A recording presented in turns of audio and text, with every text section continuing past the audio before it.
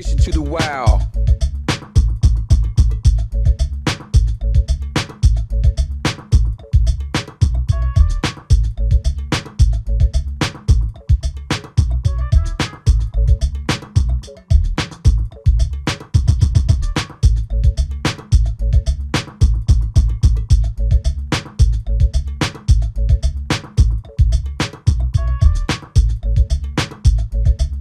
Hundred percent addiction, hundred percent action, hundred percent wow. Yeah, please stay tuned. Hey, what's up, y'all? This is Addiction to the Wild again. Les, your host. Um, people want to know how to keep fiddler crabs alive and all that stuff, though. And we're gonna show you how to keep fiddler crabs alive. You can keep them, you can keep them alive for a long time, weeks, two weeks. Kept them alive a long time. And the thing to keep them alive is this: um, get you like a three, five gallon bucket, whatever and um, put them in there. Make sure you got sand in there. You should have sand in there in the first place when you first ever started anyway. Have sand in there they like the sand, dig their holes, and they eat things from the sand.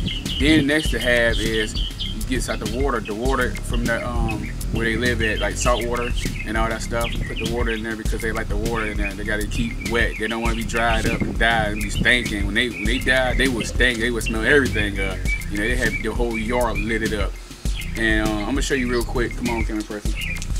See, this is what they are right here. If you didn't see, you see they got that sand on top and the water at the bottom. I tilt the bucket. The bucket is tilted in the angle for the water sit on one side and the sand sitting on the other side. And they see they're good and alive right there. Look how good they look right there though. And the water sitting right there.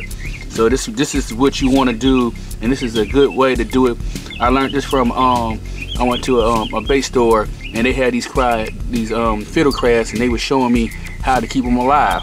And this is one of the things they do.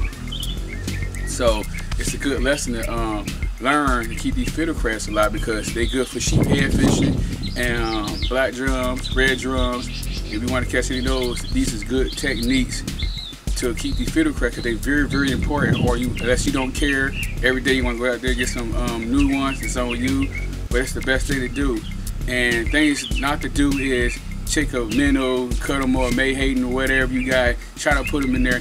Dang, too much mess with it. On it is gonna do mess up your whole um your um your pail bucket or whatever you want to call your five gallon bucket. You're gonna be stinking real bad because that fish gonna die and have everything stinking real bad.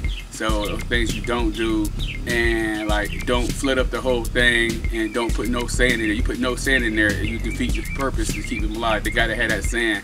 They, they clean the sand, they clean all that stuff. I think they eat like little stupid stuff like bacteria and all that stuff they eat. So that's the way to keep them alive. And when you get time, please subscribe and they be all good. Peace.